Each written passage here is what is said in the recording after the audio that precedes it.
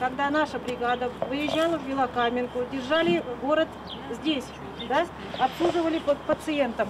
Почему в эти группы риска мы не входим и почему нам не доплачивают за то, что выплаты стимулирующего характера, за то, что была дополнительная нагрузка на оставшиеся бригады, которые непосредственно не выезжали к ковидам.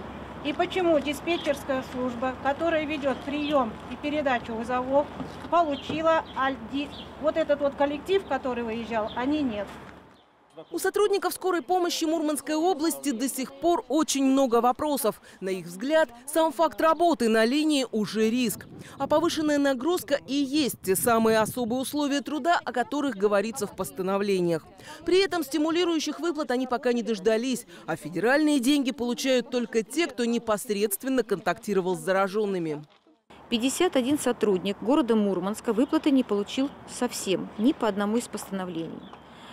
Э, у них не было эпизодов э, больных с коронавирусной инфекцией, с подтвержденным так называемым ковидом, поэтому по постановлению 484, так называемые президентские фиксированные выплаты 25-50, они не претендуют. Но им положены стимулирующие выплаты по постановлению 180, правительства Мурманской области 189 от 8 апреля 2020 года, которое было издано на основе 415 правительства Российской Федерации. Разобраться в хитросплетении постановлений и дополнений федеральной и региональной власти не просто и опытному человеку. Но чтобы получить то, на что надеялись сотрудники скорой с начала пандемии, им приходится углубиться в юридические тонкости. Ведь находясь на переднем фланге, ежедневно выходя на линию, они и в самом деле не знают, с чем придется иметь дело. Подозрительные пневмонии, ОРВИ, контактные пациенты, забор мазков на коронавирус – все это риск заражения, который может превратиться в суровую реальность. И этот риск должен быть оплачен, считают медики. Главврач областной станции поясняет, действительно, по действующим распоряжениям федеральные выплаты для тех, у кого были пациенты, внесенные в регистр больных коронавирусной инфекцией. Если пациент в регистр не попал, то выплаты предусмотрены из средств региона. Буквально вчера произведен перерасчет. Сегодня должно быть до начисления средств. Это 107 сотрудников – Значит, сформированы списки эти после многочисленных жалоб, обращений на горячую линию и Минздрава, и в приемную губернатора. Каждый случай отработан. Было порядка 90 обращений. Э, обращавшихся сотрудников мы обзвонили, э, выяснили обстоятельства, по которым они обращались.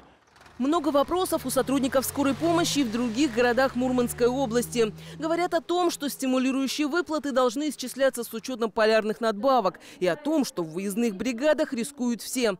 Чтобы изменить ситуацию, сейчас создают специализированные выездные бригады для работы с ковид-пациентами.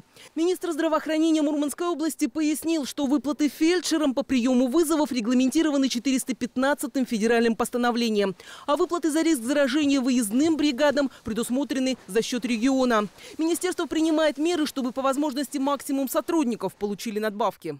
В данный момент проводим проверки по всем этим случаям. Да, к сожалению, действительно такие э, сигналы у нас по ряду учреждений есть. Безусловно, всем главным врачам дано поручение еще раз все проверить на соответствие факта выполненных выездов к таким э, пациентам в таких ситуациях. Они действительно в нашем региональном постановлений правительства и в наших документах, которые мы э, сделали для наших подведомственных учреждений, четко прописаны. Поэтому сейчас мы э, проводим проверки. Выплаты за работу в условиях пандемии из бюджета Мурманской области получат не только сотрудники скорой помощи, врачи, медсестры и фельдшеры, но и водители машин скорой помощи, водители медицинского транспорта, сотрудники лабораторий и еще несколько категорий, которые не вошли в федеральный перечень. И все же, если вопросы остаются, сотрудников скорой помощи просят обращаться на горячую линию и в Министерство здравоохранения Мурманской области.